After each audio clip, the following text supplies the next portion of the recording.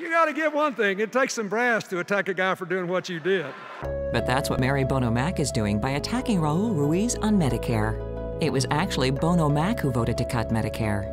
Bono Mack even voted for a radical plan to end Medicare. And she voted to let insurance companies deny coverage to people with pre existing conditions.